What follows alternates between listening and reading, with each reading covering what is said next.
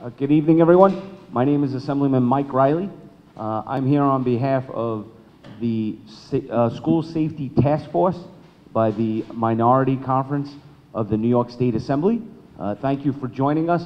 Uh, uh, Joining me today and co-hosting is my co-chair for the School Safety Task Force, Assemblymember Doug Smith from Suffolk County. I'll pass it over to him in- shortly. And I have Assemblymember Michael Tannousis, uh, who represents uh, this district and uh, PS8. Uh, We thank you for coming out and participating. Uh, I just want to do a little housekeeping. First, I want to thank our minority conference staff for all their hard work putting this together.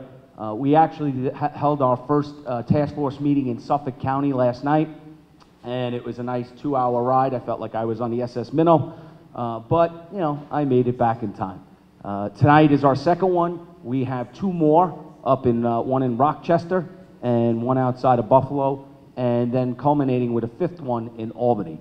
Uh, So the staff that has actually helped us, uh, Betsy Graham, Matt Visser, Frank Valenti, Tyler Carey, Rob Morgan, uh, my chief of staff, Peter Jinter, and uh, Assemblymember Tannousis' uh, chief of staff, Hanan Deb- Debjat. And uh, so they've been doing a lot of work, and I really appreciate them, and I want them to know that we thank them. And uh, so what the, the intent of this is, is for us to gather best practices uh, across the state when it comes to school safety. And so what I'm here to do is to gather that information, listen to it with my fellow uh, members of the assembly and our co-chairs for the task force. And at the end, we're hoping to culminate a clearinghouse of information that can help both urban and suburban school districts in creating safety. Uh, So with that, I'm going to turn the mic over to Assemblymember Doug Smith, my fellow co-chair. Thank you so much. And just to echo this, uh, we're greatly appreciative to the hosts here today and our great staff that are helping us as we travel the state. Uh, You're all very well represented by uh, two members here that have an extensive background in law enforcement and keeping communities safe. So to that regard, we are trying to extend that to the schools. So thank you for having us. Uh, Thank you so much. I'm very happy uh, to be here, uh, one of my favorite elementary schools here, PS Public School 8. I'm a neighbor, I live down the block, as, uh, as many of you know. So I'm very happy to be here and to be able to address something, uh, an issue that has come up recently, especially here on Staten Island, and that's uh, how we can make our schools safer. Uh, Something that I know that myself, Assemblyman Reilly, and Assemblyman uh, Smith uh, really serious about. We want to listen to this feedback and take it back with us to the legislature to actually implement changes that need to be made. So with that being said, I'll turn it over to co-chair Assemblyman Reilly. Thank you, thank you. And, uh, I'd be remiss if I did not thank Principal Esposito for graciously hosting this meeting, and uh, thank you for, uh, for having us. So with that, let's... Thank you. So with that, we have uh, a first panel uh, for discussion, and uh, what I'm going to ask is that they present for roughly five minutes, whatever they can present on best practices, and I'm so honored to have them uh, here with us tonight. We have Mr. Rampersant, the Chief Officer of Safety and Partnerships for the New York City DOE. I think I might have left something out there. but- all right. We have uh, Miss Agnes Mc- uh, Macbeth representing uh, District Attorney McMahon. Thank you. And we have uh, Inspector Timothy Wilson, uh, the commanding officer of the 122 precinct. Uh, So I'd like to turn it over to them, and uh, Mr. Rampersant, if you wouldn't mind starting. Would, thank you very much. Uh, can you guys hear me out there? Well, first of all, thank you again to the principal for being such a gracious, gracious host. Um, and condolences for our friends in, uh, at Wagner College who's got to sit through this. I heard that the, uh, your, your professor made you sit through it, so we'll, we'll try to be as entertaining as we possibly can. All right? I was told you got to go through this in order to get to the next step, so all right, so thank you for being here tonight, and thank you, thank you for our, our elected partners for continuing to support our schools in the way that you do. Um, Mike, you are a champion and an advocate, um, always keeping us on our toes, so I appreciate you, not only is for the work that you do um, in, in Albany, but just a friend and always transparent and really holding us, holding us to the fire around safety for kids. So I appreciate you for always being a champion and look forward to working with my new friends on the other side as well. So thank you in advance.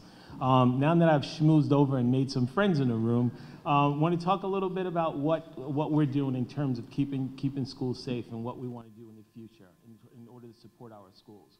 One of the things that we, I want, I want to echo, and I want to really not only echo from a prior conversation, but really um, start off with is the responsibility of school safety is the responsibility of every adult in the community. Right? Not only do we have a, a fundamental responsibility for keeping young people safe physically, but their emotional safety as well.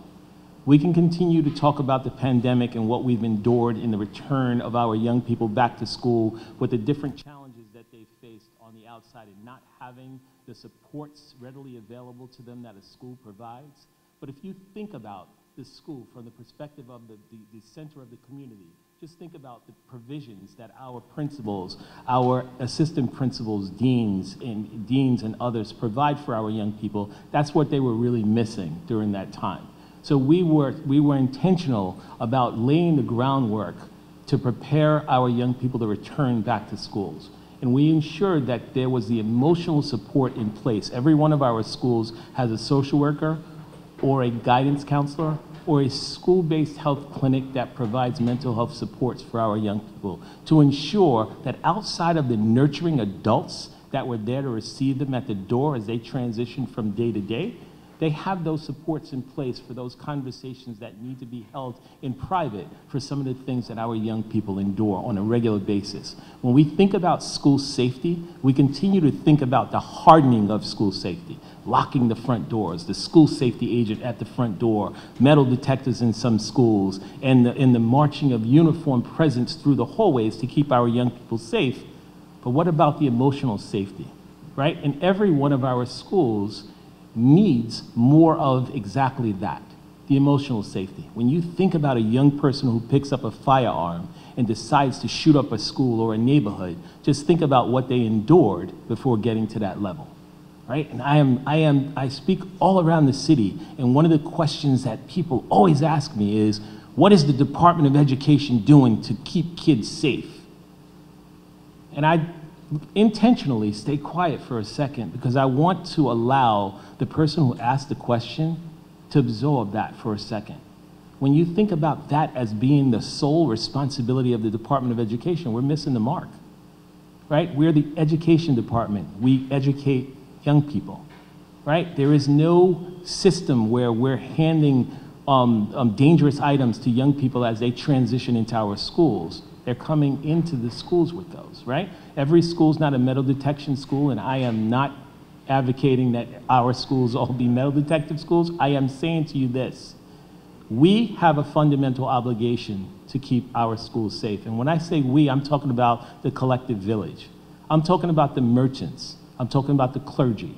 I'm talking about the community partners and stakeholders outside of our schools have a fundamental responsibility to work with this principal right here and simply say, what do you need from me to help you help our school community? Right? And so outside of the work that the principal is doing to keep young people safe by conducting her drills as outlined by state law, right? Her building response team as outlined by state law, her conducting her regular drills, lockdown, evacuation, right, and shelter ins as she's required to do. Having a building response team that practices every month and they meet on a monthly basis at their safety committee meeting to discuss the different ways by which they can keep their school community safe. Outside of all of these things, the principal still needs the support of the community to ensure the safety of every young person in the building. And some of those things come by way of town hall meetings like this and being able to say to parents, here is how you can help. Parent volunteers. Right now in our city, we're having a major shortage as it relates to school safety agents school safety agents. So when the question is asked, what can you do for us in Albany? My answer would be, let's have a conversation about a prevailing wage that makes sense so that we can compete with some of the other city agencies that are taking our school safety agents. Right? The school safety agents make such a low wage that many of them have opted to take jobs in Starbucks, Target, and um, in some of the other places like Walmart that it now will, now will pay for your college, right? Instead of working here, where in order for them to make a decent salary, they have to work to 10 o'clock at night. Some of these agents have been at school since 7 o'clock in the morning, but they're still here burning the oil to keep us safe, but we won't have a conversation about a prevailing wage for school safety agents. So when you think about what can we do to help keep schools safe, that's one conversation that I would say start that conversation in Albany about how we can make this, this job of school safety more competitive to some of the, the agencies, such as the corrections department. Think about where we must be as a city when a school safety agent would rather not work with children, but work with inmates in order to pay their rent or their mortgage on a monthly basis. Shame on us as New Yorkers to stand by and allow that to be our story. Shame on us, right? And these are the very people who stand at the door as the gatekeepers to keep the bad actors out of the building, right? To keep the bad actors out of the building. Just think about that for a second. We want them to put their lives on the line, such as the case with our partners in blue, but we don't want to pay them the right wage to do that, right? And one would ask, what is an appropriate salary for a school safety agent to put their life on the line for a kid? I would say to you this I'm not sure of what that salary is, but I can tell you right now it's not the one that they currently get. And when you have a conversation about school safety, the first thing we think about is the school safety agent in their uniform at the front door, greeting parents, greeting students by name, and some of them are parents of the students themselves. And they're sitting in schools providing safety for young people and hoping that that same level of safety is being provided for their child in the school down the block. So the job of school safety is not the Department of Education's sole responsibility. We show up for the job every single day. And, and, and I can tell you right now, this principal and her team does an amazing job of ensuring that safety. But when we talk about safety, what exactly are we talking about? Right? So when the young person comes into the building hungry, well, is that safety? Bad night at home because they were on a punishment and something happened with the parent and they come into the school and we are able to talk them down, is that safety? A young person who is being physically abused by a parent at home and comes to the school for support, is that safety? A young person who is, is struggling with sexuality and they come into the school and there's a person to provide guidance, is that safety? Right? It's not only the physical safety that we're responsible for, and when you go back to Albany, when we have a conversation about safety, we need to talk about the overall emotional safety for our young people as well. And that conversation comes by way of guidance counselors and social workers. And when we have a conversation about mental health accessibility to our young people, let's really talk about what is available in the community, not only for young people, but their families as well. Right? And I'm, I am intentional about including those particular areas in the conversation around safety because we continue we continue to think when we talk safety, we're talking about the physical safety.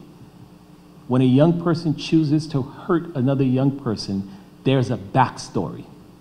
There's a backstory. And that backstory usually comes from everything and anything on the outside.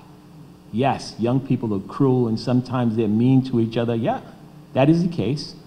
But hurt people hurt people right? There's always a backstory to be told, and the sooner we can get to the backstory, the quicker we get to the backstory, the quicker we can prevent some of what we're seeing around the country from happening in our schools. And some of our best practices is exactly that. We want to ensure that every school has a crisis team, and that crisis team is available to support any young person who is in fact in crisis. And crisis looks different to each and every one of us, and depending on who we are and what we consider to be a crisis. Breaking up with your girlfriend, that's a crisis for a teenager. For me, looking at that bill after my daughter comes back home from Bloomingdale's, crisis. crisis. I need all the help that's available to me, available to me at that time, right? I appreciate you. I appreciate you. But crisis, right? Nevertheless, and our young people deal with different crises every day. Here's one crisis for you, and I challenge you and ask you in Albany to do anything and everything you can do for us. Help us with social media. You want to talk about safety for young people, right? And we have no mechanism in school to deal with social media. These young people have a greater platform than anything that we could ever have thought about for ourselves. Social media, hold them accountable for allowing for a stage for one young person to bully a young person, and you can bully them from here in Staten Island to Japan. And you have people chiming in, chiming in, chiming in, but guess what that is? That is the emotional safety for our young people, to the point to where a young person would consider taking their own lives. And in my entry conversation outside of greeting, greeting my friend Mike was having a conversation with my partner here, the principal, about exactly that. Mark, the last time I spoke to you, we spoke about a young person who committed suicide from a school not far from here. And just the other day, he called me again about the same exact thing. And I say to you this we have work to do. And the work that we have to do is a collective work. It's not an individual work, it is a collective work. And that collective work includes all of the members of our village. We're showing up every day. We need our members of the village to show up as well. And that village is not absent our partners in Albany. We need to have real conversations on how we support our communities in a way that we can self sustain. No parent, no student should be thinking about ways outside of school where they can get the very supports that they need to sustain. If I am having a problem with depression, where do I go? If I am having a problem with bullying, where do I go? If I am having a problem just being able to feed myself, where do I go? It can't continue to be the only place that many of us think about the school. The school. We have the sole responsibility, right? We have the sole responsibility. We spend more time with your children than many of you do. We have them all day. They're in clubs, they're in, we think about it, they think about it, we create it for them. We have some schools in our system that have as many as 50 different clubs for young people to join because they don't want to go home. There's nowhere for them to go. There's nowhere for them to go. I have just accepted, and it's okay if you throw potatoes and tomatoes at me, accepted the responsibility for the PSAL in this system right? The athletic league for our young people, right? And when I took this challenge on Mike, I said to myself, one of the first things that I want to do is I want to ensure that all of our athletes are ambassadors for their schools. Just think about the quarterback. Think about the pitcher. Think about the, the point guard on the basketball team and think about what his following must be in the school. A winning school. I'm not talking about the ones that are oh for you get the rest right? I'm talking about a winning school, and you have a, a, a, a, championship winning team, and just think about the influence they have on other students. Think about that influence, right? And I, I, I want to create a space where they're ambassadors for their schools. That's safety. That's using safety in, in the responsibility of safety in a different way. But I also thought about how many young people we touch through the PSAL, and I thought about the different ways by which there are young people who are athletic in a different way. And I thought about how we use gaming, esports, as sports for the PSAL. Just think about it. We have young people who actually earn income through esports. And we haven't introduced that to the largest school system in the country. That's another way by which we keep young people safe. So I'm hoping that I've given you something to take back to Albany and have a conversation around what the needs are for our school system.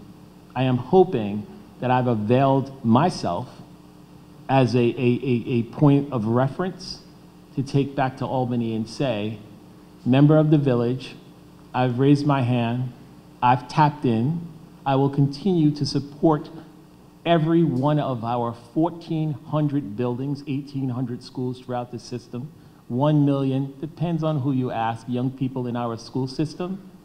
And I will continue to tap in every time I'm tapped in. I can't tap in with social media. I can't tap in when they're in the bedrooms of your homes. I can't tap in when the doors are closed and they have privacy to do some of the things that many parents would say, not my child, until it actually happens. I can't tap in and control the things that I am not in control of but I will control the things that I am in control of. So thank you for the opportunity to be here. Now I'd invite Ms. Agnes Macbeth, please, representing uh, District Attorney Michael McMahon. Wow, that's a, a tough act to follow, and um, I don't want to say polar opposite, but um, uh, um, we are a village, and I will agree with that. My name again is Agnes Macbeth, and I'm uh, one of the community liaisons in the district attorney's office, and I'm also um, the education liaison for the DA, and I am additionally a public school mom. Um, I want to begin by uh, giving regrets from the DA that he couldn't be here. He had a prior engagement. Um, but this is a conversation that we, uh, we've been a part of. Uh, one of the first things that I did when I joined the DA's team back in November was to attend um, a school safety forum that um, I believe Assemblyman uh, Tannousis headed along with Representative Malliotakis back in November. So we, I've been a part of those conversations. The DA has been a part of those conversations um, over the past few weeks. And um, he's met with safety agents, with UFT, we've met with uh, principals, with parents, and um, with every conversation, the district attorney asks a question. If you had a magic wand that would erase the discipline and safety issues that we're facing in our schools, what would it be? What would you do? And um, I must say, we, we heard some similar themes that I'd like to share with you today. And uh, for us, they sound like common sense, some of which you've already heard. Um, but I'd like to dig in a little bit deeper because, yes, schools need resources. Um, on Staten Island, there are 144 safety agents for 93 sites.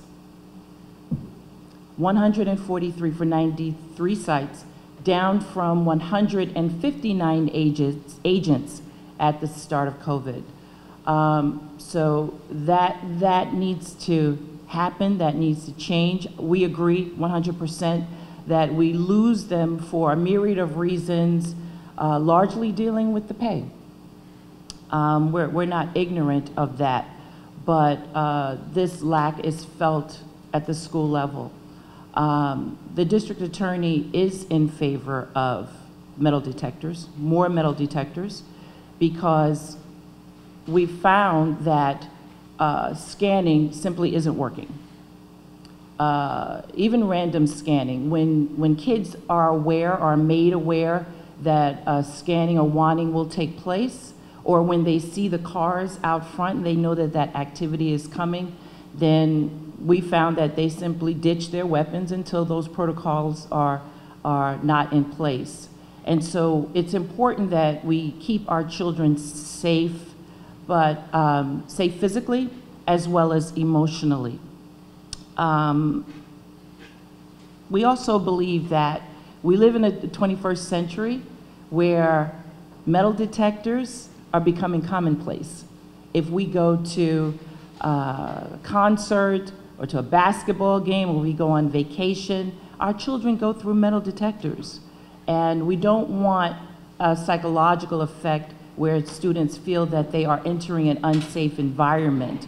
We just know that in the absence of all of the resources that you're mentioning, and we know that those things will take time, that there's a real need in the immediacy that needs to be addressed. And, uh, and some of those issues stem from things that possibly can be fixed sooner. Uh, like we know that with the previous mayoral administration, there was a change to the discipline code. And we were told uh, um, by someone in safety that that change has resulted in bad behavior instead of discipline, where students know that um, if they commit certain offenses on school property, that um, they'll either get, uh, they'll get, uh, a parent will be called and the matter will be taken to family court or the, the item that they, the, the weapon that they bring into the school will be confiscated and vouchered, but there aren't too many more con, um, consequences beyond that. And so we don't believe that we should penalize kids aggressively um, because we know kids will be kids and we know that things happen, right? But we also know that in the absence of a suspension, uh, uh, community service, or some type of consequence, um, then there are those that will take advantage of that. We've seen in communities that there are adults that um, use children to carry weapons because they know that they won't suffer as severe a consequence if they're caught. And so we believe that there should be, the DA believes that there should be uh, common sense consequences that meet the crime or the, that meet the offense. Um, we don't want to take anyone's uh, uh, future away from them. We don't want a kid that's about to go to college and uh, to make one bad mistake or, or, or um, be involved in a situation where they might have to defend themselves and their future is irrevocably changed. We don't want that, but we believe that there should be consequences for those who break disciplinary codes. The, di- the district attorney strongly believes that. Now, mind you, we, he also, and we also believe that with those stronger, um, more common sense disciplinary codes, that resources should be met with it.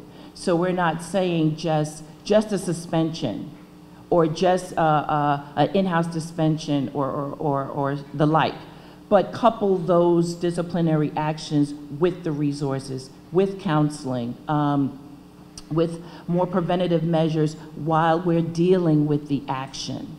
Um, and that if we show students that both exist simultaneously, then we will see uh, real change in, in what's happening in the schools.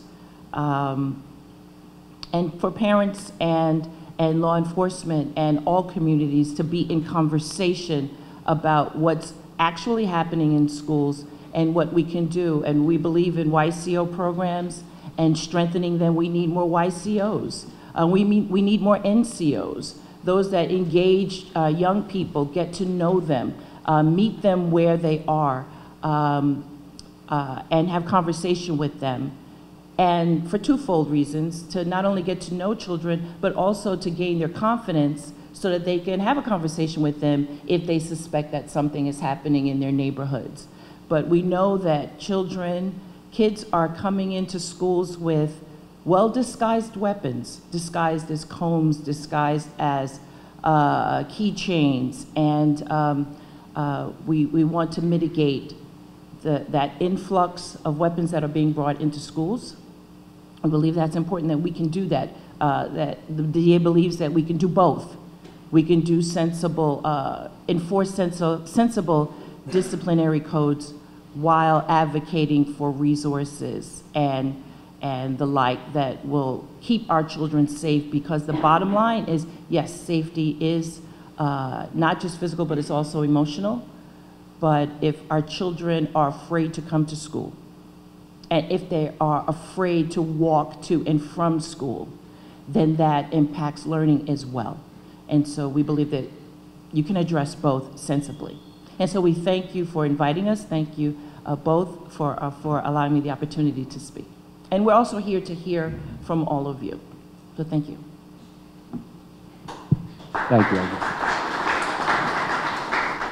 Inspector Timothy Wilson?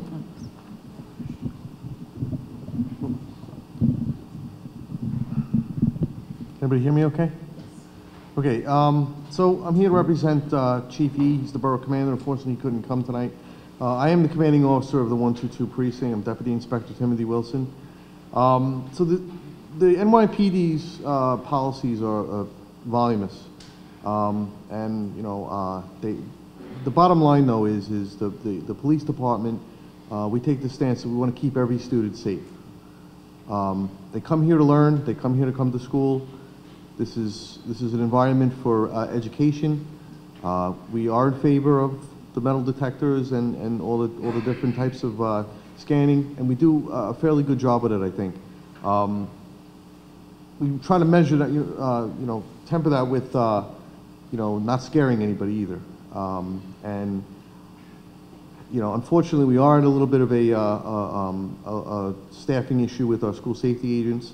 Uh, it's being worked on. Uh, we have some wonderful agents, and I've had the privilege of working with a lot of them. Um, and, uh, you know, just in my little world, in, in this precinct, uh, you know, the, the, the crime in the schools is very, very, very small. Um, in fact, we, we have just, you know, little dust-ups here or there. I know there was some things last year at certain schools, those are aberrations, some bad apples. Um, and the, the police department as a whole is committed to the safety of the children. Personally, I'm the parent of, of some public school children. Um, you know, my kids went through a public school and an intermediate school. Uh, we were very happy with, with the way they were, uh, they were treated there. Uh, they, we always felt they were well supported, uh, which to your point, I agree with you. There's, there's more to it than just clamping down. Unfortunately, on my end, I'm the clampdown uh, group. I'm the one that comes in and, and arrests you and takes you in. Um, and, you know, I can only speak for myself in terms of general policies, but, you know, we don't tolerate weapons in schools. Um, we're not going to have that. Our children deserve to come to school and feel safe, uh, and that's our goal. Um, in, in policing and law enforcement in general, one of the main tenets is fear. Uh, we want to reduce fear as much as possible. Uh, and, you know, I think our, our agents do a fantastic job um, reducing fear. I know from my own personal experience and my own children, our agents were great. Um, both schools they attended, they were, uh, they were wonderful. They cared about the kids, and, and, and, and like Mark said, they knew them by name, um, and I was super impressed by them. And, uh, and now in my role here, um, I, I, I get to meet with, meet with a lot of them, and they genuinely care about your kids. Uh, I personally like to see more in the schools because the more the better, but um, what we do have, they are dedicated. They should get paid more, but uh, I don't really have any say in that. I wish I did. Um, but the, the bottom line here is, is, is, is like, like my colleagues here said, uh, it does take a village. Um, we, we find that uh, when we bring a, a child into the station house for some kind of infraction of law, um, and we have to take them into custody, uh, the parents, you know, it's, it runs the gambit. We have have people that come in and go, what do we need to do to fix this? How can we help? And work with us. And then we have other ones that come in and be combative with us. But uh, it is certainly, uh, uh, generally, it's, it's when, when everybody's on the same page and we're all looking out for the children, uh, that they succeed. And that's what, uh, that's what my, you know, personally and, and professionally, that's what we want. We want success out of our kids. It's nothing, no, nothing makes me happier than visiting the schools and seeing the smiles and, you know, seeing them all get on the bus and waving and, and whatnot. And it's, uh, it's certainly uh, a, a privilege for me to be part of this. And uh, I look forward to being, you know, more involved in the conversation because it's cer- certainly something that um, we need to do. These kids need our help and they need guidance, and that's what we're here for. So thank you for your time. I'm here to listen, and uh, I'd love to hear any suggestions anyone has. Thank you, thank you. So I appreciate uh, all your comments and insight, and uh, definitely uh, will help us. Uh, One of the questions uh, that I'd like to start with is when it comes to communication, uh, communication between agencies, and specifically, uh, New York City DOE communication with their school communities. Uh, Is there anything you can see the state helping with uh, that we can bring to the legislature, bring to the executive branch, uh, advocating to help that communication? And are there any mandates that may hinder that communication from happening? So Mike, if you could be more specific in terms of communication, do you mean the school's ability to communicate with parents? Do you mean the system's ability to communicate with schools? Just, uh, I appreciate a little bit more clarity. So twofold. Yep, communication between DOE and other agencies like FD and PD, and the second part, communication of the schools to the school community when, say, there's an incident. absolutely, absolutely. Thank you for that question. So, um, we all live in New York City. Um, not all of us have the, uh, the, uh, I'm going to say privilege to work for a, such a large bureaucracy, and you haven't had the experience of trying to communicate with other agencies. One of the most difficult things in the world to do. Mike, can I give you an example of something? Had a young person in crisis the other day, went to the school, talked to the principal who knew intimately what his uh, particular concerns were. And after an hour conversation, we learned that this young person was involved or touched by seven different city agencies. Family court, correctional, uh, family court, probations, Department of Education, NYCHA, ACS, I can go on and on. Not one of those agencies talk to each other because there are all of these preventative federal laws and requirements that don't allow us to speak to each other. For the schools, you have FERPA. For the medical, you have HIPAA. And I can go on and on, and you can add a uh to anything else, right? It exists. And what that does is that disallows us from communicating with the different agencies. And when you think about what you can do at the state level, we need to create a way by which we can break those barriers down when it is for the sole interest of the young person, right? We're not talking about creating databases. We're not talking about creating a system that allows us to track a young person from elementary school to college. We're talking about a system that allows us to talk collaboratively about the supports that we can provide collectively as a city to ensure that our young people are whole, our families are whole. Right now, if you're a family and you require public assistance of any kind, right, you got to go through the system and you have to give all your information, and then you go somewhere else and you need housing supports, you have to do the same thing over and over. If you need Medicaid, you got to go and do the same thing over and over. But all of these supports are being provided by one city. So why isn't there the ability for the city to communicate with the city to provide all the services at one shop? right? So if you can't get that together as a city, it is very difficult for me to get it together as a city talking to another city agency, right? We have an agreement with ACS where we can provide information to ACS. Guess what? Principal can't get any information from ACS. Probations, as a part of the stipulation for a young people who's released, the principal can give information, but the principal can't get any information right? So how am I going to support this young person who's being supported by seven different agencies if we can't communicate with each other? I say to you this, Mike, it's bigger than just the city in order for those conversations to take place. So I say in order for us to create a system where we can all communicate, we have to get, and I'm sorry for the lawyers in the room, we have to get the lawyers in the room, right? And the lawyers have to come up with a system by which information is provided and then deployed for the, for the direct support for a young person, betterment, if you will, right? Not for the intentions of creating databases.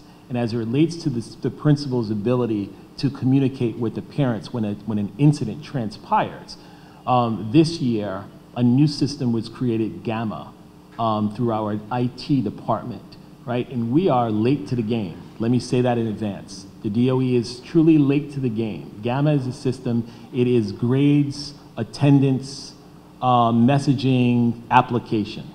And this application gives our schools the ability to send real-time messages to parents who are registered in our Nixus system, the student account system, send them real-time messaging. It's a brand new application. We're late to the game yet again.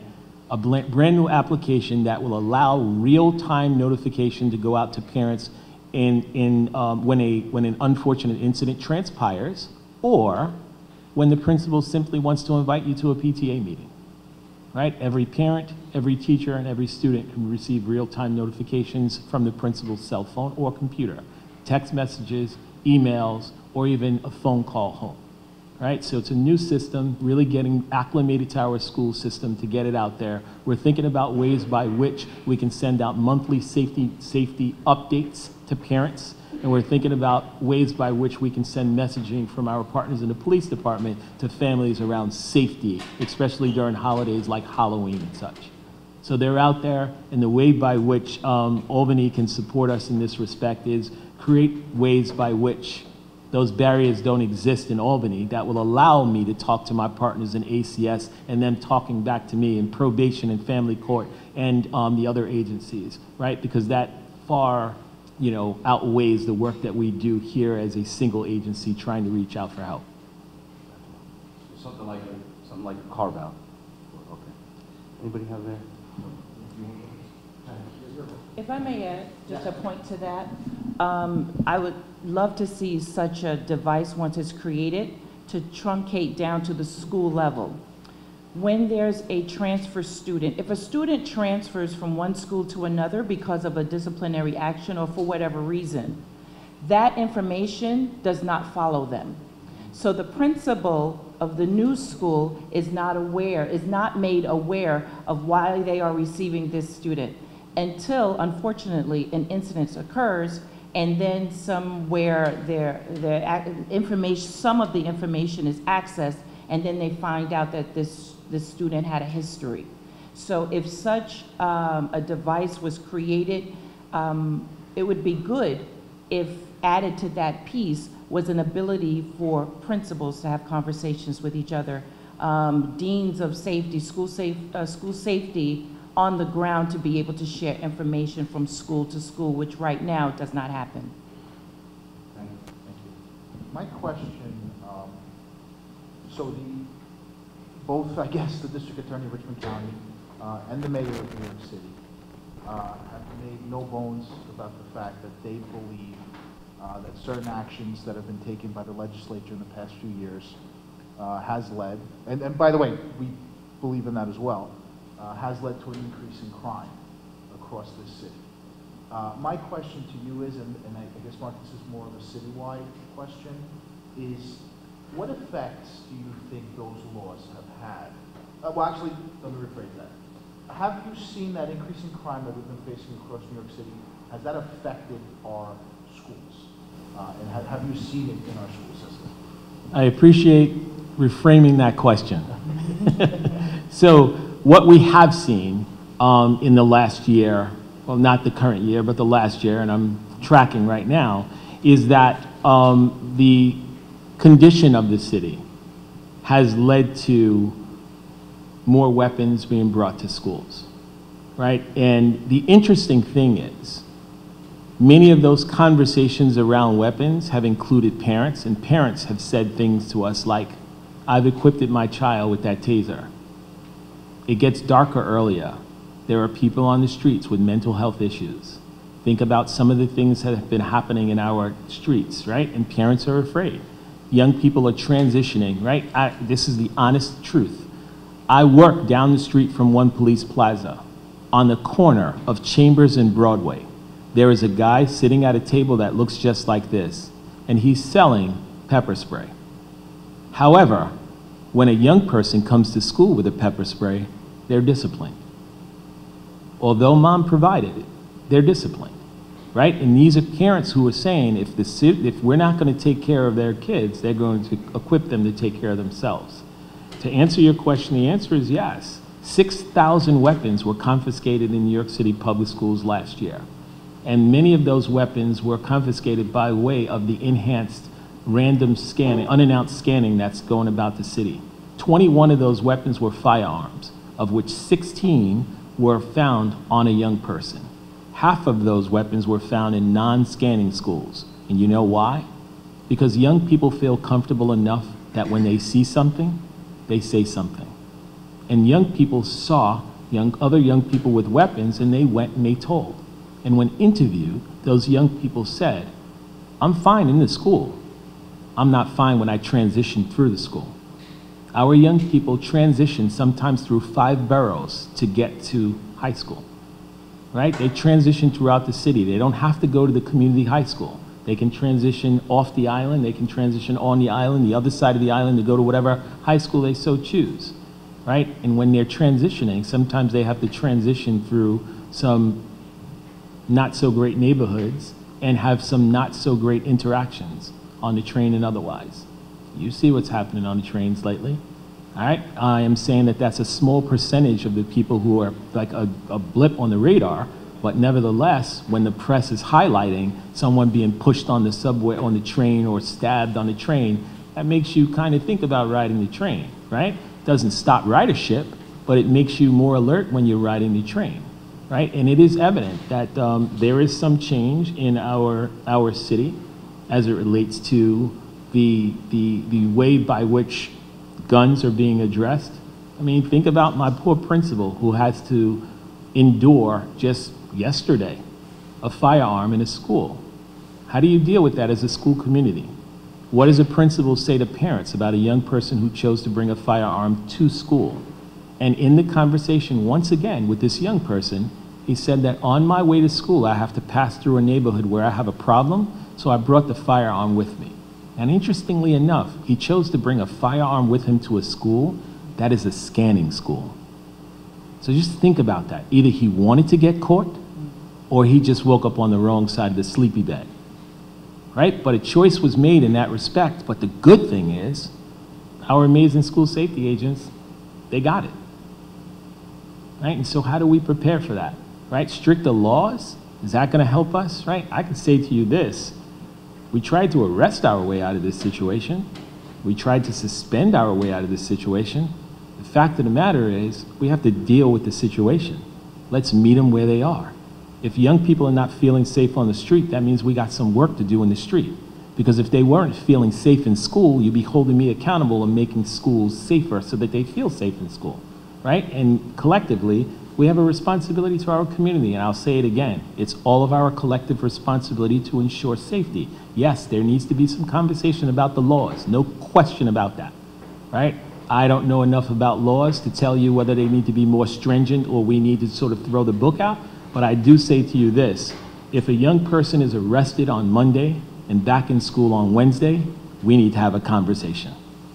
Right? A firearm arrest. I'm not talking about arrest for a box cutter. I'm talking about an arrest for a firearm. And you show up back in your school community on Wednesday before I had an opportunity to hit the checkbox on your suspension, we need to have a conversation about our laws. Thank you. Thank you. So it, it's, it's interesting uh, for me to be here as somebody who represents uh, the suburbs on Long Island because half the state operates schools very differently than how it is operated here. And there's uh, differences uh, that, and, and some flexibility that I think I, I know our school districts out on Long Island and throughout the state kind of wish they had the ability to kind of have a one-stop shop in some regards because uh, you know you're able to operate a little bit more efficiently in certain regards than uh, us having you know 100 and some odd school districts.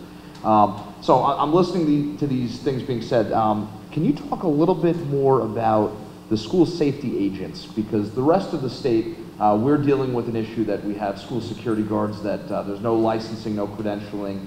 Um, school safety agents, they're members of the police department? Yeah. Mhm. Okay, and is this a specific um, civil service line? Yeah. Like this is, so this is where the pay comes in? Yes. And they're active duty? Yes. Yeah, for- forgive my, uh, just because. No, it's no no, problem. it's That's, very It's understandable, because it, it does, it's, it's, a- it's a very strange dichotomy with, the- with the way we do things here. Um, so we have, um, in the police department, there is, uh, uniformed police officers. Um, we kind of differentiate those with the guns and those without, okay? Um, so I am a uniformed member of the police department. The, um, school safety agents, along with our traffic agents and other, um, civilian members of the department that do wear uniforms. It's, it's kind of a little strange because they do wear a uniform. They're considered, uh, considered civilians. So they have peace officer status, which is just under the police officer status, those of you that are familiar with the criminal procedure law. So what they are is they are um, attired in a lighter blue shirt than, than, than their uniform, than the regular uniform officers are. And they are tasked with the security of the schools. There's an entire hierarchy of, of rank and, uh, and supervisory structure in that side of the department. There's an, a whole division for it. It's overseen by a uniformed, I believe it's a, a one-star chief right now. Not, don't quote me on that because they keep changing it. Um, but they are uh, a, a civil service uh, job. You take an exam. There is a whole training period. We put them through a whole academy. So they're, they're very well trained. They're, they're screened. It's not like you just walk over the street and like, I want to do this now. Uh, it's, it's a whole process. There is an entire interview process. There's uh, paperwork, background checks. There are uh, vetting processes. Uh, there is physical, uh, a physical component of it. There's a uh, uh, an educational component um, where they, they do attend classes. They're, they're very well trained. Um, and, you know, and then they're, they're, they're, they're given the authority, they're given, they're sworn in, they, they, uh, and then they're assigned to a school. And they're, they're basically tasked with this, the, the security of the school and the safety of the students for that, you know, while they're there. Backed up by my uniformed police officers and our youth officers and, and, and, and other, other assets of the department. Uh, so for example, there's one here, so she, since the main entrance, she's guarded. She has, um, arrest powers Uh, She has a lot of training. She- Basically, she's just not armed. Um, And, you know, it, it- it plays, a- it it does play a certain role for us because, you know, we don't want children scared, and we're not trying to criminalize children either, you know? But I, I do agree with Mark that the consequences, and from the police department's perspective, the raise the age law has significantly impacted that, um, to where it's, it's, it's made it very difficult to uh, have consequences and have uh, people held accountable for their actions when clearly they are in control of what they're doing and what, they, and what, what, what they're aware of, you know. Uh, but to, to answer your question, there is a, is a, there's a complete division for them. They are very well trained, very well vetted. You can't just get hired at, like as an agency. They're not contracted out. They work for the city. They are under our, our jurisdiction. They are completely under our control. We work, it's, you know, we work with the Board of Ed with, with, with some of the policies, um, but they, they answer to us. So, eh, you know, uh, in, a- in, a, in a weird way, the, the, the the agent that works here actually works under me because I'm tasked with all the schools in this area. However, there is a whole division that oversees them operationally, administratively, uh, and, and, and how they discipline and how they, how they conduct their business, their individual training, because it is different than a uniformed officer's training. And that's actually a key part of, as we're traveling the state, talking about this, I think we're definitely going to look at that, because we don't have that for the rest of the state. Right, Uh. And those are conversations that are happening. Uh, The next thing I wanted to ask about, uh, the metal detectors question, and uh, not really a question, just listening to both sides and the thoughts on that.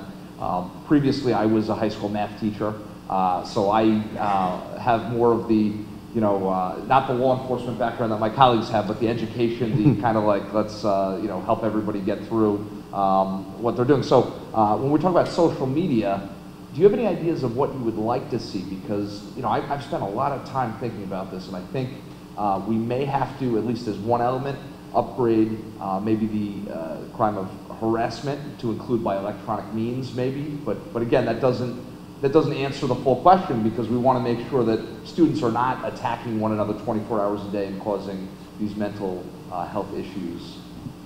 So think about it, right? Um, if you went on any social media site right now and typed in young people fighting, what do you think you'd see? You'll see gangs of young people jumping on one person. You'll see gangs of young people having fights that if their parents saw this, they wouldn't believe that that's my child acting in that way, right? But social media allows them a platform to celebrate that bad behavior. So when you ask what would we like to see from social media is them not allowing for young people to freedom of expression, right? For a young person to express freely that kind of behavior, right? Young people are in packs committing these heinous crimes against elderly people, right? You get to put that on social media. You get to ride around on your moped and jump off your moped and record yourself robbing someone at gunpoint, and then you get a thousand hits and you put your name on it. Now, so here's the interesting piece. Some would say, yeah, let them do that because that's how we catch them, right? But think about a million views. That means I am victimized a million times just in this, this state alone, across the country, right? Just think about that, right? People decided to take their phones out and record while a woman was being raped on a train in another state. Nobody thought to help. That is our instinct right now, right? And so we blame our young people for doing the very thing that they're trained to do. And Take I've out their phones. To, to that, to that thought, actually, I've spoken with uh, students in, in schools across, uh, at least on Long Island, and uh, students were trying to teach student advocacy. So come up with an issue you'd like to see, try to advocate. A lot of these high school students are trying to advocate to their school administrators, we'd like to be able to use our cell phones during lunch. Sure. One of the reasons why that is not being allowed is for that reason that you say, that things are being recorded that shouldn't be recorded. And, and so it actually is much easier to just say, I don't want to see that phone, put it away, because that, uh, that motivation, as you mentioned, to become famous or something like that. Um, the last thing I'll say, because I definitely um, respect your time and I want to, we want to bring everybody up. Um, two other issues. So, uh, unlike other parts of the state, a lot of your facilities are not just being used by public schools, but also non-public charter schools.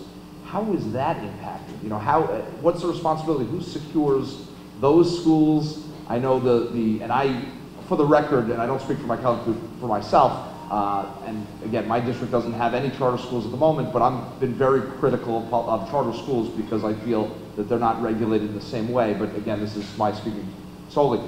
Can you speak to that a little bit? Well, I'm not going to be critical of charter schools. I got a long way for retirement. We're not critical of charter schools. Okay, got it, got it, got it. All right, I'm not at retirement yet. So, I'm not on um, Long Island, so I. so as it relates to safety and security for the charter schools, I'm gonna be honest with you, I can't answer that. Okay. Um, because they are separate and apart and they don't follow chancellor's regulations, if you will. So the school safety agents are not assigned to the charter schools. They have to get private security for those facilities. Um, there are very few charter schools that actually have a school safety agent present, and that's because of some other extenuating circumstance. But our schools are co-located, co- New York City Public Schools are co-located with many charter schools, and as a result of them being in a co-located building, they get the school safety agent coverage. Okay, thank you. Yeah.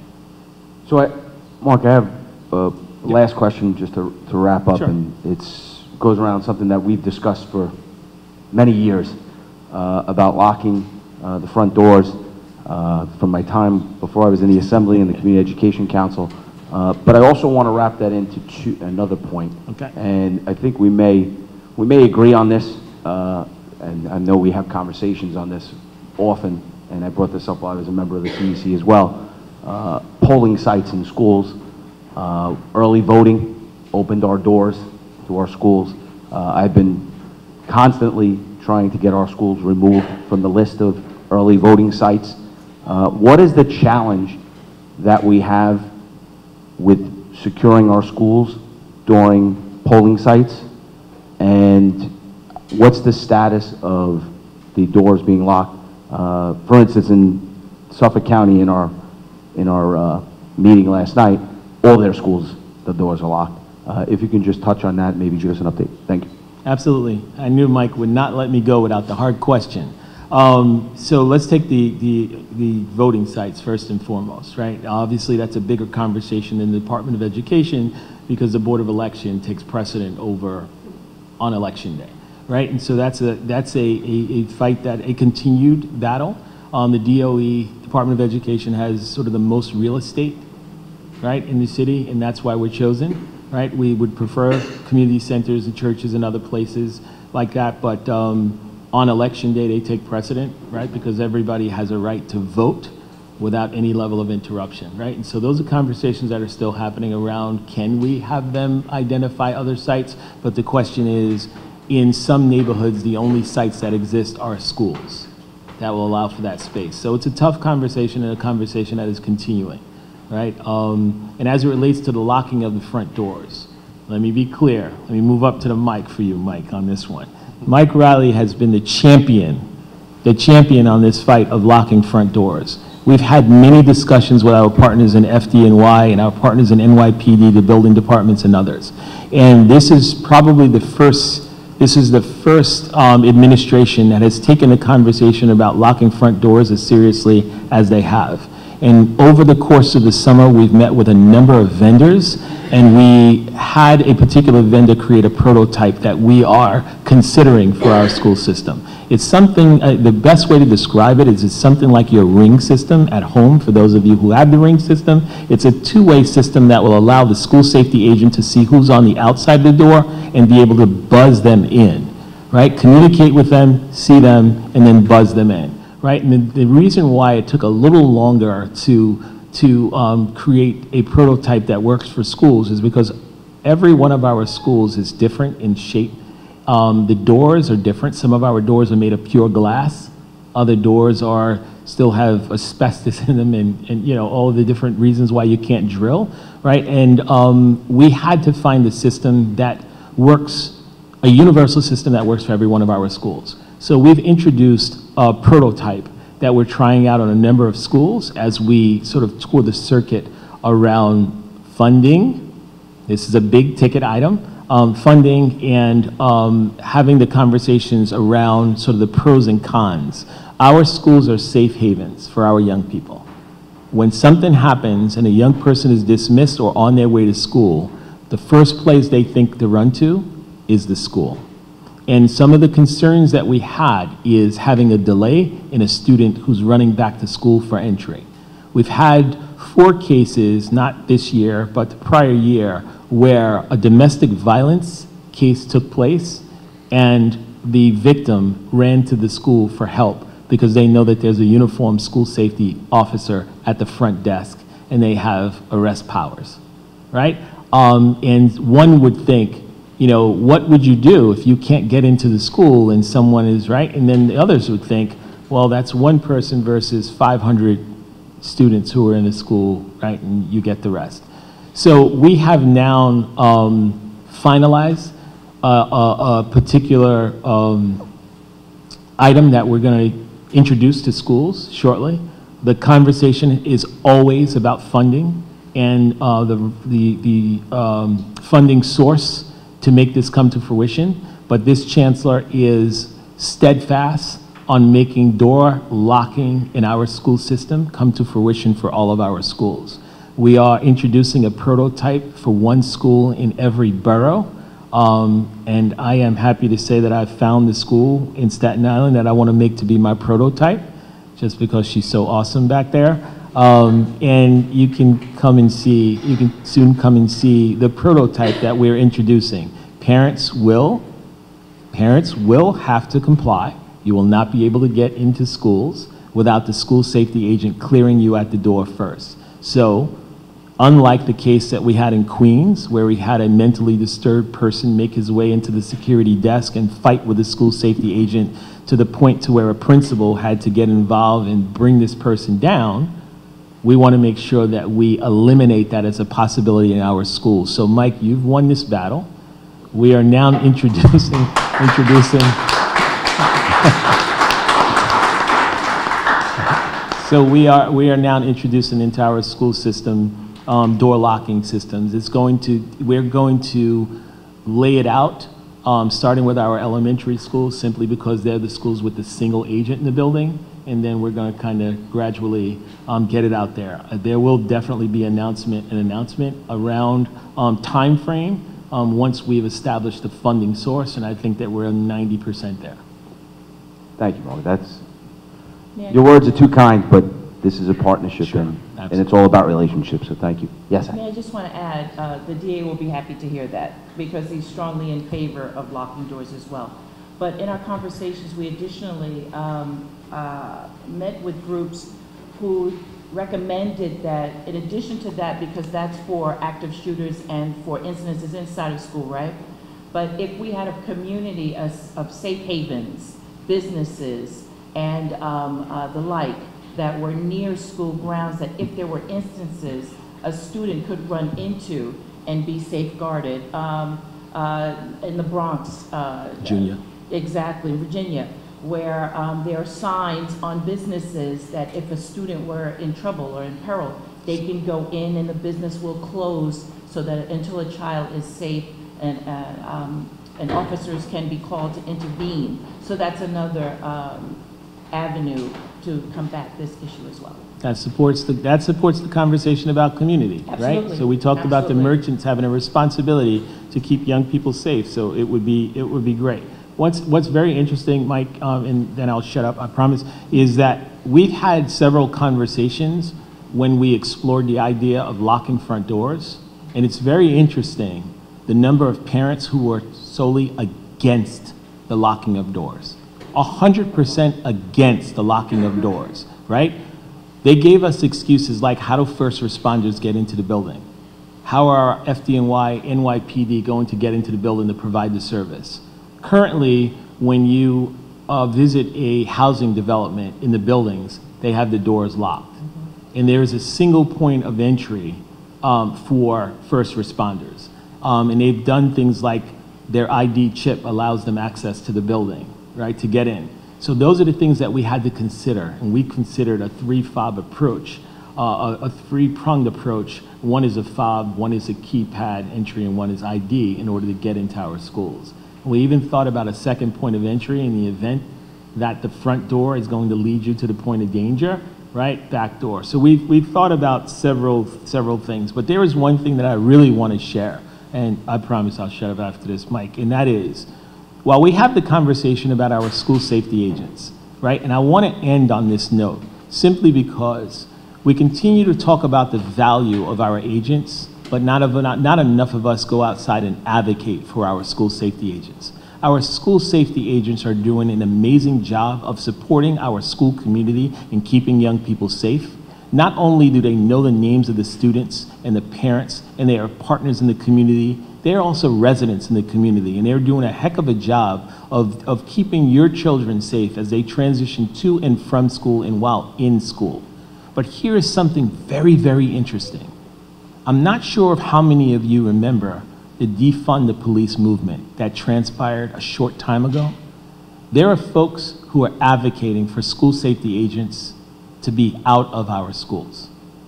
Advocating for school safety agents to be out of our schools. And the reason why I intentionally wanted to end on this note, Mike, is because their voices are louder than those voices who want to see the school safety agents in our schools.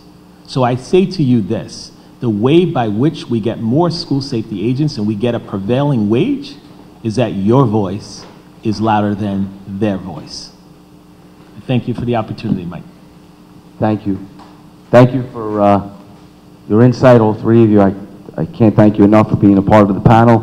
Uh, We're going to have a second panel, and uh, I'd like to call up uh, Lou Bucci, uh, the lead principal of Strategic Partnerships, Family and Community Engagement, and Mike Coppotelli, the Senior Associate Superintendent of Schools for the Archdiocese of New York. Thank you so much.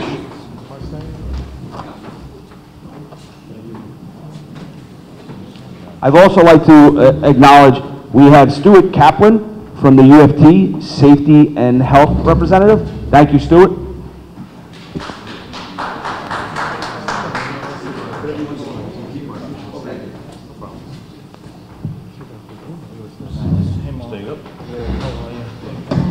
To actually see you in person. We've spoken on the phone, Michael. Yeah. Good to see you. Yeah, things are well, yeah.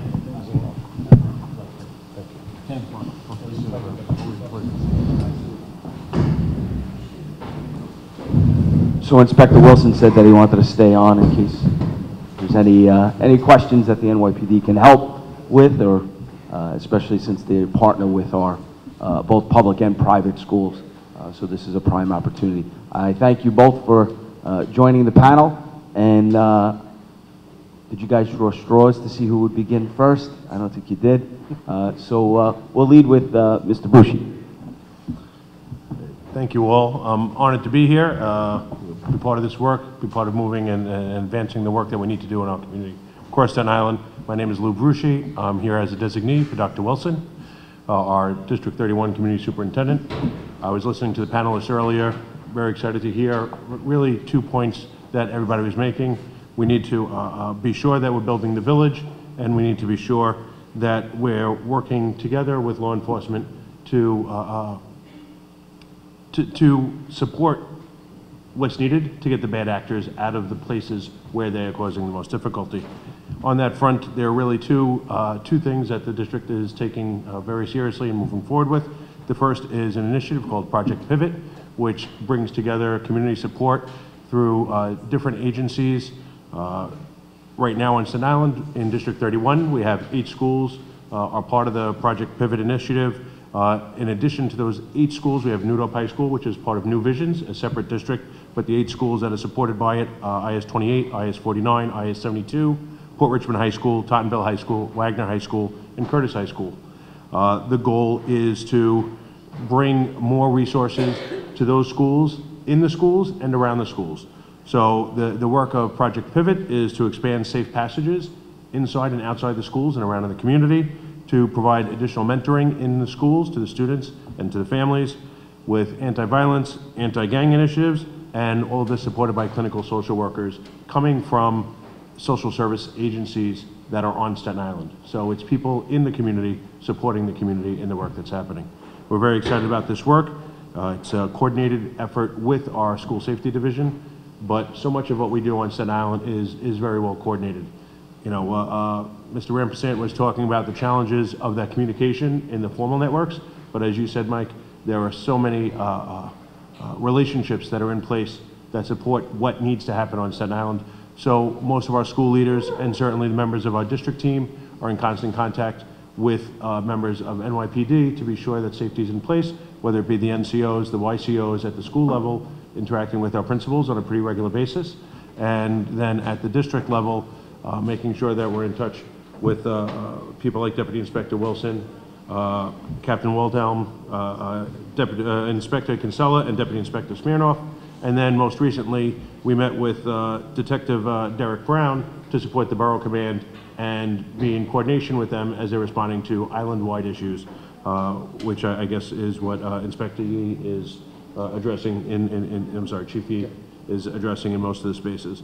So ma- many different of these aspects, we're, we're working on building the village, as Mr. Rampersant said, and then also addressing the bad actors in the community with the right supports coming from uh, uh, NYPD and working in cooperation, coordinated, coordination with them, with the district office. Thank you. Thanks for having us, uh, Assembly members. Appreciate the opportunity to be with you today. Um, On behalf of the Archdiocese of New York, our school superintendent, Michael Deegan, Cardinal Dolan, uh, thank you for for hosting this important forum. I'd like to just, um, uh, you know, briefly touch on a few things that certainly are important to the non-public school community, but also is no different than some of what you hear today. And and it's good to be here. I see Lisa Esposito, the principal here, who I've worked with for many years, and certainly so gracious uh, to have the DA's office uh, and certainly the NYPD, who have all been very good uh, friends and and supporters of all the schools on Staten Island, uh, both public and and non-public. So um, just shares a couple of things which I, we hope would be helpful uh, for you as you think about uh, how the New York State Assembly and how uh, the uh, bureaucracies in, in the state and the city could work with some of our schools. So first is, I want to thank you because you were instrumental um, in the uh, budget that just passed this past year. There is an allocation for school safety money for non-public schools. So for public schools, that comes through their state aid runs. For us, it's a little bit different. We access it through the non-public school safety equipment grants program.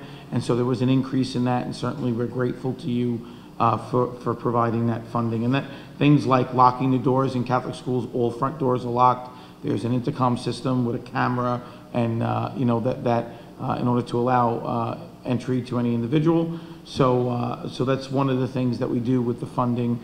Uh, Lighting, for example, at night, there's many events, we're here at night, so lighting in the surrounding area is another thing of how we utilize uh, those funds. Um, So just two uh, things that I'd like to touch on. First is, uh, you may be familiar with, uh, New York City has a security guard law for non-public schools. Now, I know you're not the city council, so you can't change the law, and I'm certainly not asking you to, to do that. But uh, one of the things is that law is based upon what is called the BEDS report. Mrs. Esposito, she, she does one for public schools, I do it for the non-public schools, our principals do it. It's the same thing, you know, a lot of data entry, a lot of different things. But one of the things that's, that's interesting is, and this is a state education department form, is that they don't count three-year-olds in a school building. And so for our students, um, uh, for our schools who have three-year-old students, and by the way, we have 3K and UPK programs in our schools, city programs, the same as public schools have. Those students don't qualify for a security guard. So it's just simply, you know, a simple, um, you know, change in the form that would allow additional, our additional schools in the, in throughout the city to qualify to have, uh, security guards through the non-public school program. And the reason why we received this program is I saw the wonderful school safety agents outside, and certainly grateful to them, uh, not only for their work here tonight, but their work throughout the school year. And so this is the equivalent of how our students access uh, school safety agents. Um, It's the school uh, security guard program in the city. And so um, that change was something that would have to happen at the state education department. So that's one that I'd offer to you. And and if you think about it, um, this, the number in New York City is 300, so 300 students. Uh, But for a school nurse, the city law is 200 students. If we were to increase the school safety, in New York City, the school safety law from 300 to 200, an additional 32 elementary schools in the Archdiocese of New York would qualify. So significant number there. And then the last piece, so uh, you may have seen uh, today a recent news, uh, newspaper article that the city is now going to recognize uh, Diwali as a holiday. And that's great. But the challenge that we have in the non-public school community, whether it's a Catholic school, yeshiva, whatever it might be, is that we're limited to school busing by the, by a certain number of days under state law. And so when you think about it, we have students, especially on Staten Island, we face the same issue. They're traversing Hylan Boulevard, three-lane highways, Amboy Road, and for them to walk or to get to school, it's difficult. It's a safety issue. And so looking at how uh, non-public schools could access additional busing for these additional holidays that the city is putting in, because it's codified in state law. There's only, I think it's five, if I remember off the top of my head, state holidays that we're allowed to ask for an alternative day where the public schools may be closed, but we might be open. So Jewish holidays, um, uh, and really any holiday, right? But, so it's very limited. So I would encourage you, if you could look at that, uh, as well at the state level, that would be something that, uh, would be helpful to the non-public schools as well. And then, you know, certainly we have an extensive, uh, array of, of mental health and social emotional learning, which is really a need for all students now after the pandemic. And so just looking at how New York State OASAS funding perhaps might be uh, expanded. Uh, We we receive, and we, uh, as well as I know the public schools, uh, they have OASAS counselors, or I think there might be SAPIS counselors, Lisa, you could correct me if I'm wrong. Um, The Sa- uh, SAPIS in the schools, we need more. We need more funding for counselors in our schools, because that, especially now, after the COVID uh, crisis, it certainly is a need. So happy to answer any questions, but thanks for letting me share some perspective.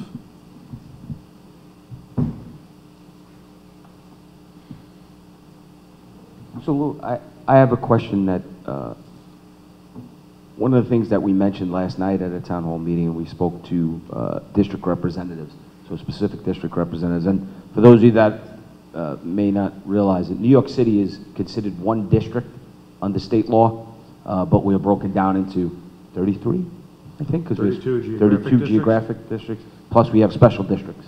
Uh, But, so taking it just as a Staten Island perspective, as if we were, say, equivalent to a, a- our own school district in the state, when it comes to uh, reporting uh, incidents like VADIR, right, the, the violence uh, reporting system with the state, do, do you see any, and, and being with your prior experience as a principal of uh, an elementary school and a middle school, do you know, can you offer any insight or recommendations into what improvements could be made? Not, not too broad, but what you think are the immediate changes that should be made to that Vadir to make it really relevant and break the stigmatism that's applied with it when a school is identified as persistently violent? I, I think over the last few years, what, what's happened with what, what we call in, in New York City our ORS reporting system, our online occurrence reporting system, what we've done uh, to, to balance it with what's happening at the state level is qualify some of the things that are reported based on age level, which I think brought a very uh, uh, common sense approach to what's happening. Students in kindergarten might be touching each other in ways that aren't deemed problematic, the same way it would happen in seventh grade or 11th grade.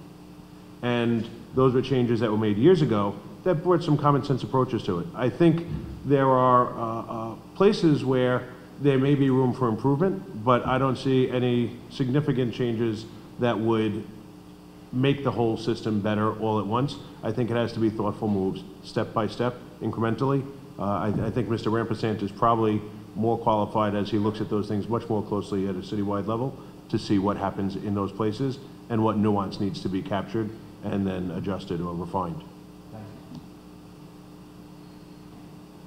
So I, I had a question regarding the non-public school security. If you could go back through that uh, for a minute. So you said for every 300 students, one security guard is uh, qualified. Is that, and, and um, so I'm curious because, uh, you know, out on Long Island where I represent, and, and as I mentioned, half the state, and we're dealing with school security officers, we have a lot of retired police officers that, that do that job. Is that funded uh, through, you know, how, how is that program funded? So it's a reimbursement program to Okay. the state, I'm sorry, to the city. And it's the same thing like the non-public school security grant program is a reimbursement program. Uh, the security program is also a reimbursement program and it's through city tax levy dollars. Um, and so we apply for the program and it's based upon an enrollment of 300 students. But again, you know, that's a pre-K four through eighth grade, and then after 300, every additional 200 stu- students, it is on, I think, one guard additional. So there's 500 students, you get two guards, and then so on and so forth. Okay, so you don't have any issues with like salary caps as we have? So it, it, it pays prevailing wage according to the New York City um, prevailing, uh, New York State, I think prevailing wage law. And um, we hire through a, a security guard companies. Um, you know, the guards, they're through a private company and then they work in the schools. Our policy at the Archdiocese of New York, and this is, every school can adopt something different, but our policy at the Archdiocese of New York is that um, that we, we ask, we, we deal with one particular company, and we ask them to hire retired members of the NYPD, FDNY, or military service, because we feel that they have a level of training that we would like to, you know, see. And in addition, they also have to be licensed underneath the New York State Licensed Security Guard um, licensing program. And so I'm not very familiar with that, I'm not an expert on that. Um, I might defer to the, to the inspector who might know more, but uh, they are required to have that as well. Okay, that's perfect. Yeah, my question was more, um, just making sure you didn't have an issue that the, re- like half the state, the public schools have an issue where any retired law enforcement is under a penalty if they make over thirty-five thousand dollars if they're retired. Uh, so that's something that, uh, throughout the rest of the state is a major issue. Maybe you could speak to that a little bit, I know. Okay, so in New York City, um, once you retire from the NYPD, uh, you are not subject to um, any kind of income restrictions. You separate from the department. Uh, In certain circumstances, um, if you receive a disability pension, uh, then you'd be uh, subject to some, um, some uh, uh, salary restrictions on your, on on what you can earn up to a certain point. Usually that's when you reach what would have been your retirement age from the department normally, when you, when we call it a service retirement. So, um, you know, let's say you, you you leave the department at 15 years, uh, and you, um, you get the disability pension, uh, you, you're restricted by your income limits about, for those five years, you would have reached your, your 20th, or for some of our newer, uh, officers, the 22nd, or however the pension tier is, is, uh, laid out. Um, and then they're, they're not subject to, uh, normally, they're not subject to income restrictions. It's separate and distinct. It's, you, once you leave the department, you, what's that? Yeah, once you leave the department, you become a private citizen. As a matter of fact, we, we, we actually, when the, when the guys retire, we, they have to get licensed by us to have a firearm. Right. So, uh, you know, there's a multitude of laws and, and regulations, um, and there's the watch guard license, which we oversee, um, and where we, um, you know, we, we, we license the, the, um, security guards and whatnot. Uh, and it's true, and I, I happen to know quite a few of the, uh, the men that, that do, uh, men and women that do the security for the schools. Um, but from my perspective also, if, if if you want, um, we don't oversee their security, but I have a wonderful relationship with those, with those schools. Um, and, you know, if there's an issue, we have a very, very close working relationship, uh, with, with these principals and the security staff. Um, you know, through personal contacts and from, you know, from working together and from, uh, from my role. We have a great working relationship, so. Now, can I ask you just a question? So, uh, back to the school safety agents, with that title, do you have any retired members of the department that retire and then become, okay, I'm, I'm sorry, this is probably not No, germane to. that, now, that's something they can't do. They, they, Oh, oh, is you- that you're, right? Okay. you're only allowed to, you, you, you're one or the other. You, you, you know, you don't So get you to. can't retire NYPD and then do that in a No, second? no, Okay, I the- the- there's a, there's a whole pensioning system and there's, there's civil service law that takes effect. It's Okay. kind of complicated, but no, you, you, it it would be nice, but no, that, that's not how it works. So they, they Okay. generally go and work as, as the, uh, in the private schools. Okay, okay, great. So it sounds like actually the city has figured out a lot of the problems that the rest of the state we still have not figured out. Well, maybe, all right. Well, like I said to you before, we have an entire division of the NYPD that is dedicated to the school safety. Right. So that's a bit different than you're right in, in a lot of other places. So I could just, to qualify that whole uh, back and forth for the members that are here that are from New York City. Outside of New York City, uh, there's a, a push to hire retired police officers for local school districts, and there's an income limit for retirees. They, they can only make up to $35,000 a year. The issue becomes when they reach October, they've already made that 35,000, so it leaves two months of no security at the school for the year. Uh, and also from the first half of the year, right, that January to June, that counts all in the calendar year. So th- that's when, when Assemblymember uh, Smith was mentioning that, that was part of the conversation last night. So that's why it might have sounded a little uh, confusing. But in New York City, uh, our public schools don't hire retirees uh, because of that uh, income limit and pension issues. Private schools, totally different thing. Retirees can work. I hope that clarifies a little bit.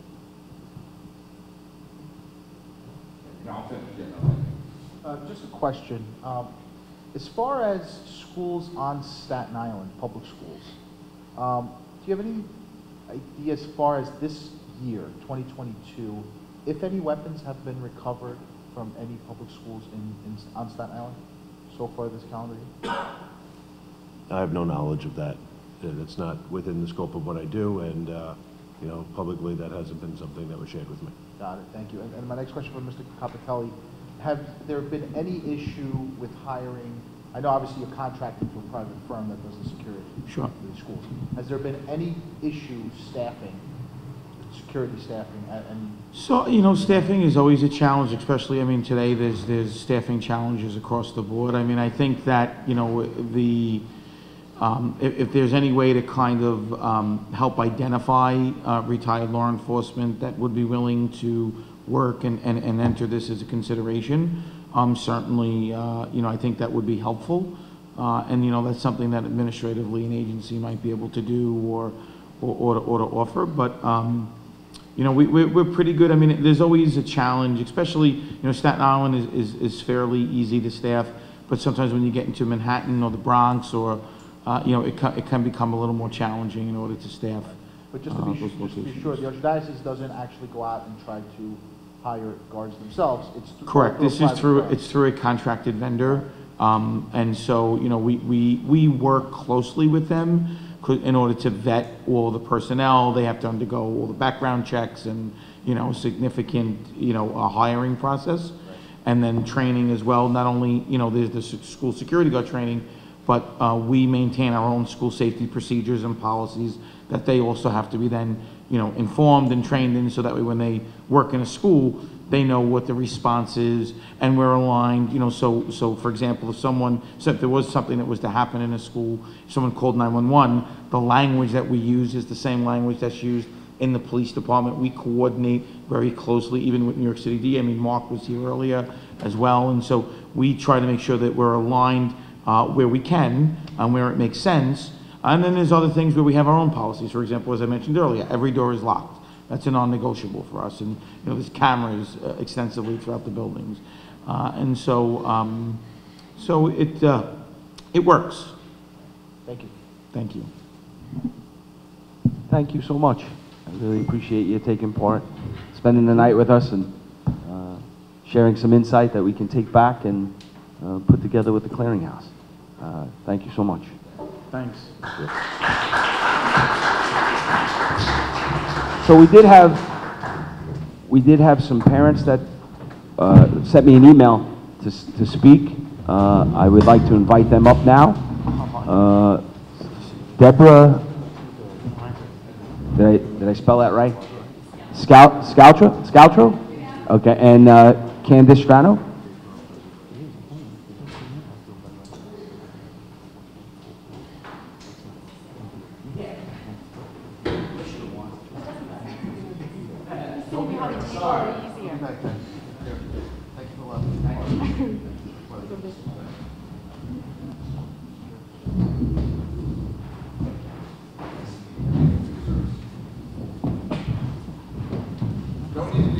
No, good. I'm good. I'm, she's nervous. I'm good. so I'll be doing the talking. So one of the things you actually had brought up, um, one, the, what we really wanted to speak about, about safety in this school specifically. So we are parents of children of PS8. Um, we're on the PTA, SLT, um, have been for many years. And that is about the early voting and the primary voting that's happening in the school consistently. So one of the things that obviously is a huge safety concern for us for many, for multiple reasons. One, of course, that people are walking in this building and there's no security to stop them. There are double doors from where the gym is to where our youngest children are. Those are our three, four, and five-year-olds are in that wing of the building that they're able to just, there's nobody there that could stop them. There was literally little cones blocking the doors and nobody's watching to see whether or not somebody will walk into that door. Um, So having that, the people have easy access to our children in a time when our children have to go through lockdown drills for fear of a shooter, I think is something that I'm not sure how that's even a consideration. I know that for years, and obviously even when I was in public school, children are not in, in the building during, on election day for safety reasons, right? Because there are people coming in and out of a building, and for safety reasons, there should not be additional people being, having access to the building. We're talking about locking our front doors so that people don't have access to the building to our children. But yet, suddenly for early voting and primary voting, it's okay multiple times a year for our children to be subject to that.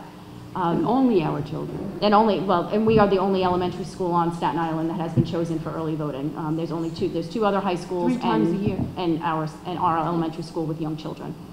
But I don't only have the issue with individuals coming to vote here. I also have the issue with the people who are working here for voting. Most of them are volunteers. I very highly doubt, I don't know for sure, but I highly doubt there's any background check or anything that's ever vetted for those individuals that are coming here to work. And there, is there a background check, really? They, to, to volunteer? Well, they get paid very much, very light, very small, don't they? Blood money, so uh, yeah. Oh, uh, yeah, go ahead. I'm sorry. But, so we've had issues with their, first of all, in our, in our, on our property, smoking, which is illegal, cutting toenails, which I promise you what happened, it was It like did? literally sitting out in the, in the yard, in our Leaving food everywhere. Leaving food. There was, at the last primary in the spring, there was a man who was taking photos of one of our youngest children, and he was stopped, and we have, you know, parent statements of seeing it. We've tried to go to places, and they say, oh, not happen, it doesn't matter. Like, those are the types of things, that was somebody that worked here, that is now has access to our children as they're walking in and out. Um, I don't know how it, this is not, I, I can't even imagine how this is even something that, I understand everybody's right to vote, I totally get that, like, I understand that. But it should not supersede the security of our children. So we've been trying for years, and, and Mike, you know that we've called you, like, we have tried for years to get, knock on people's doors and ask who can help us, and literally, the, the Board of Elections want nothing, they, they don't want to hear us, they, they are, they don't respond, they want nothing to say, there's like, there's no other place to do it. I can't imagine the city that there's no other place to be able to hold early voting. There's got to be another place. That's not going to impede on my child's security.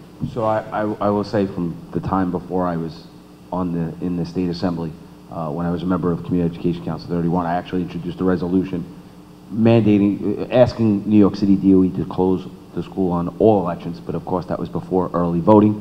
Uh, so now with early voting, you know, to give some people some insight into what happens at, during early voting in the school, it's for 10 days, each election cycle, plus that is usually, that site is still a polling site for general elections. So now you are looking at losing up to, and if you have a special election during the year, Yep. you could be losing up to 40 days of your gym, Yep. of your cafeteria. They have Uh, recess, they can't be outside because So, of security reasons. when I first took, when I first uh, got elected to the assembly, and I took office in 2019, uh, it actually, that's when I think early vo- voting started to first uh, roll out, and we had eight schools on Staten Island. And that was part of the push of getting them to stop using schools. Uh, Unfortunately, I fell short in getting PS 8 off the list, Uh, but I continue to to advocate for that, and I know Assemblyman Tannousis does as well. Uh, The, the issue is, and, and even though you may not hear us speaking about it publicly, the back and forth with the Board of Elections, uh, and you heard me mention it to uh, Mr. Rampersant, we have back and forths about it, uh, because we're on the same page that it shouldn't be used. The, the issue is real when they say, because there has to be a certain amount of polling sites within a, a radius. And then it has to comply with ADA uh, requirements, wheelchair accessibility, all those things. Uh, Peter, who just reminded me, sitting down there, uh, my chief of staff, he actually wrote the letter for me and actually uh, asked, and, and we put forward recommendations Mhm, So did we. to, for other locations that unfortunately did not fit in the Board of But there are schools in this area that could be used.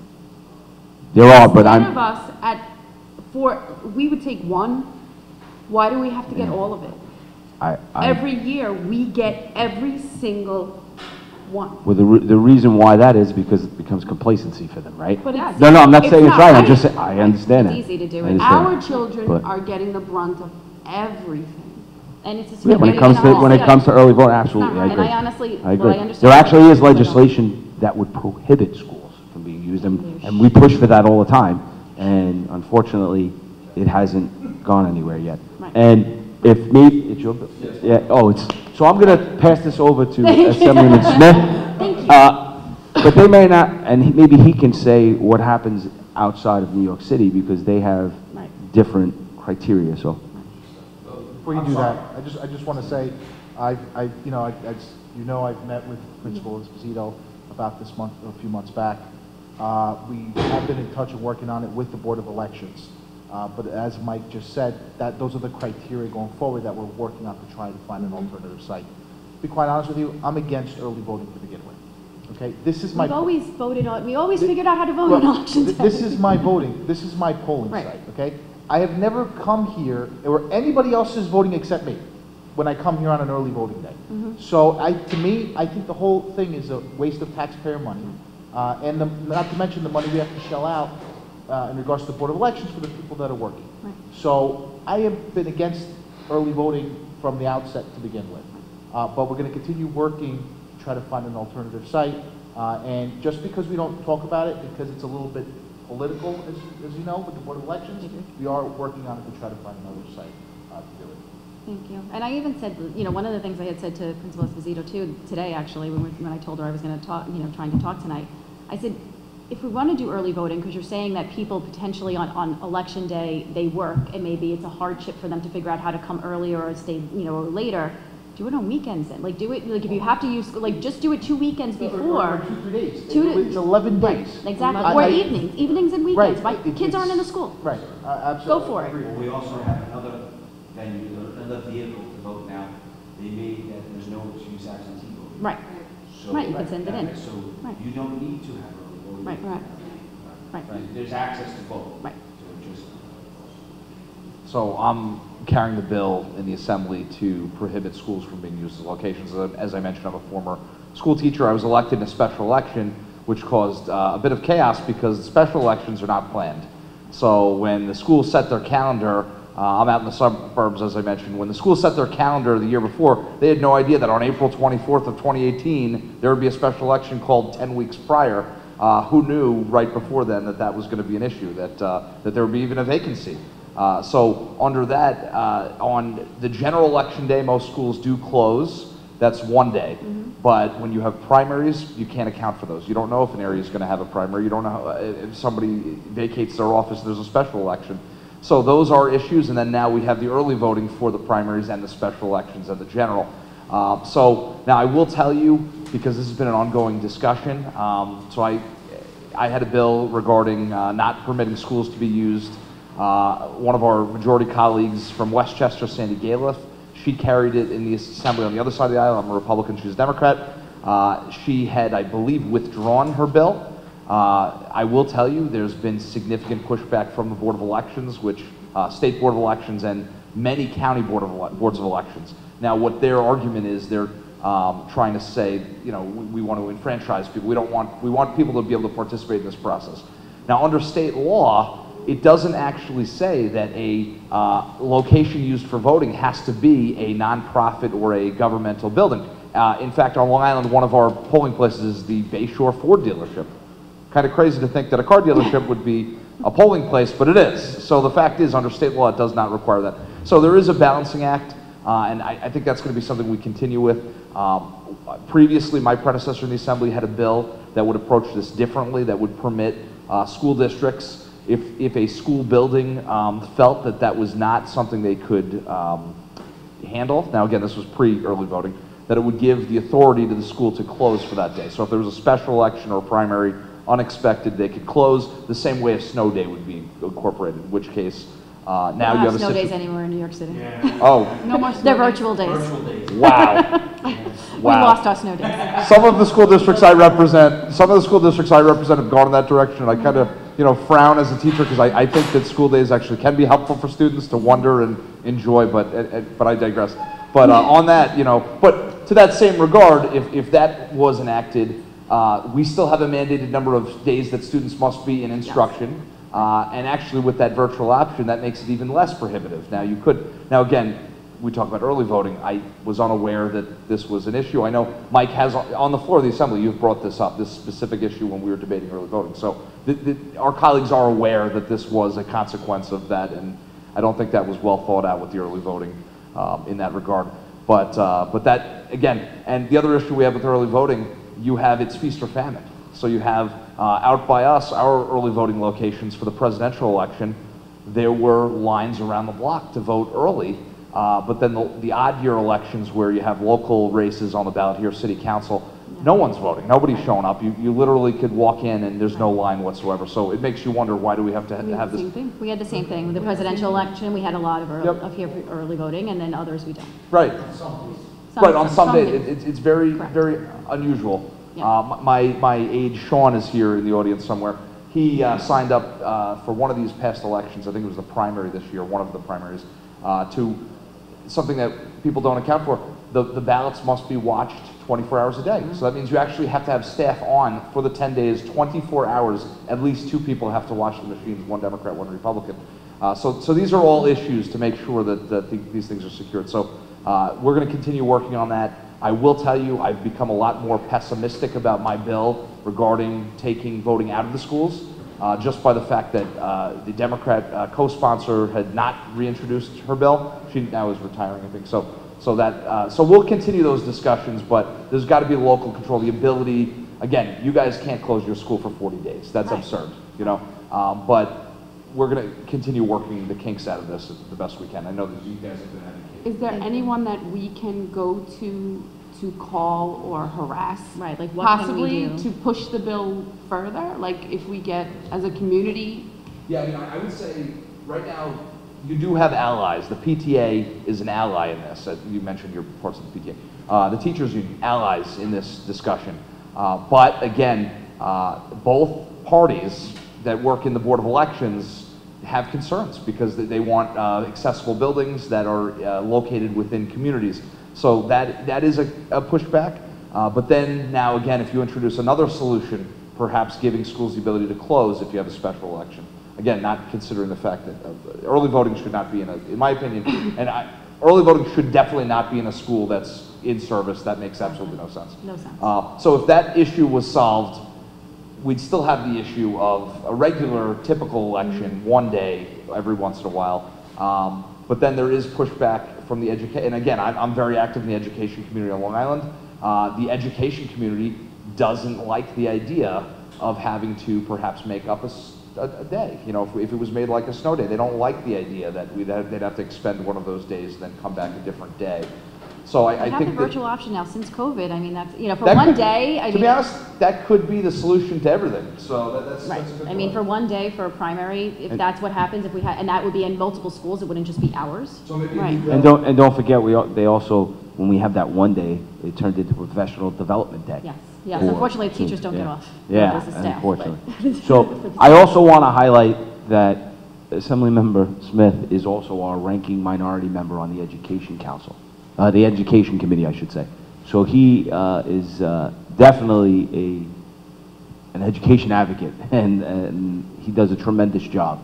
And I'm sure that we can maybe talk to uh, Assemblymember And the the, the ranker, uh, I mean, the, uh, the chair, Mike uh, Benedetto, and, uh, he's a former teacher as well. Uh, so maybe we can have a discussion and go to New York State Education Department and see about getting them to help us, uh, with this early voting, uh, aspect. That'd be great. But thank you, I really appreciate And it. if there's anything that we can do, please, we will, more than happy to raise our voices and write letters and show up places. We're, we're happy to do that. Um, We just know that for the safety of our children, it needs to stop. Thank Thank you. you. So, that's the uh, closing of our panels, and I want to thank everyone for coming out, and uh, I especially want to thank uh, Ms. Esposito and her staff, and uh, the custodian staff for hosting us. Thank you. I really appreciate that. And to our staff, uh, you guys rock. There's nothing more I can say. And uh, thank you. Safe home, everyone.